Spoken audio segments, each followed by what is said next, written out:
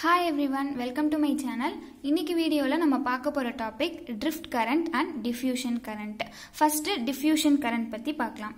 ஒரு பியூர் செமிகண்டக்டரில் நம்ம ஒரு ஹாஃபை வந்து பி டைப் இம்ப்யூரிட்டினாலையும் இன்னொரு ஹாஃபை என் டைப் இம்ப்யூரிட்டினாலையும் டோப் பண்ணோம் அப்படின்னா நமக்கு வந்து ஒரு பிஎன் ஜங்ஷன் ஃபார்ம் ஆகும். ஸோ நமக்கு பி ரீஜியனில் வந்து மெஜாரிட்டி கேரியர்ஸ் ஹோல்ஸ் என் ரீஜனில் மெஜாரிட்டி கேரியர்ஸ் வந்து எலக்ட்ரான்ஸ் ஸோ நமக்கு பி ரீஜனில் பார்த்தீங்கன்னா ஹோல்ஸோட கான்சென்ட்ரேஷன் அதிகமாக இருக்கும். அதே மாதிரி என் ரீஜனில் எலக்ட்ரானோட கான்சென்ட்ரேஷன் அதிகமாக இருக்கும். ஸோ இதனால் நமக்கு இந்த இடத்துல ஒரு கான்சென்ட்ரேஷன் கிரேடியன்ட் ப்ரொடியூஸ் ஆகுது. கான்சென்ட்ரேஷன் கிரேடியன்ட் அப்படின்னா என்ன அப்படின்னா சார்ஜ் கேரியர்ஸ் வந்து ஹையர் கான்சென்ட்ரேஷன் ரீஜனில் இருந்து லோயர் கான்சென்ட்ரேஷன் ரீஜனுக்கு மூவ் ஆகும். இதை தான் நம்ம கான்சென்ட்ரேஷன் கிரேடியன்ட் அப்படின்னு சொல்கிறோம் ஸோ நமக்கு பி ரீஜனில் இருக்கிற ஹோல்ஸ் வந்து என் ரீஜனுக்கும் என் ரீஜனில் இருக்கிற எலக்ட்ரான்ஸ் வந்து பி ரீஜனுக்கும் மூவ் ஆகும்.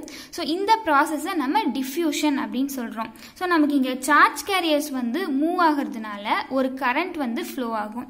இந்த கரண்ட்டை நம்ம டிஃப்யூஷன் கரண்ட் அப்படின்னு சொல்கிறோம் அடுத்தது ட்ரிஃப்ட் கரண்ட் நமக்கு பிஎன் ஜங்ஷன் டயோடில் கான்சன்ட்ரேஷன் கிரேடியன்ட் செட்டப் ஆகிறதுனால எலக்ட்ரான்ஸ் அண்ட் ஹோல்ஸ் வந்து ரீகம்பைண்ட் ஆகி ஜங்ஷனில் டிப்ளிஷன் ரீஜன் வந்து ஃபார்ம் ஆகுது.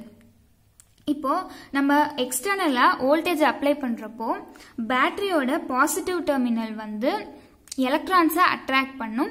அதே மாதிரி நெகட்டிவ் டெர்மினல் ஹோல்ஸை அட்ராக்ட் பண்ணும். ஸோ இதனால் ஹோல்ஸ் வந்து towards the negative terminal drift ஆகும். அதே மாதிரி எலக்ட்ரான்ஸ் வந்து towards the positive terminal drift ஆகும். ஸோ இந்த மூமெண்ட்னால நமக்கு ஒரு கரண்ட் ஃப்ளோ ஆகும். இந்த கரண்ட்டை நம்ம ட்ரிஃப்ட் கரண்ட் அப்படின்னு சொல்கிறோம் இப்போது நம்ம எக்ஸ்டர்னலாக வோல்டேஜ் அப்ளை பண்ணுறப்போ எலக்ட்ரான்ஸ் அண்ட் ஹோல்ஸ் வந்து ஒரு பர்டிகுலர் வெலாசிட்டியில் மூவ் ஆகும். ஸோ அந்த வெலாசிட்டியை நம்ம ட்ரிஃப்ட் வெலாசிட்டி அப்படின்னு சொல்கிறோம் அதை விடி அப்படின்னு டினோட் பண்ணுறோம் ஸோ ட்ரிஃப்ட் வெலாசிட்டிக்கு ஃபார்முலா வந்து mobility of charge carriers into applied electric field so அதை VD is equal to mu into E அப்படின்னு எழுதலாம்.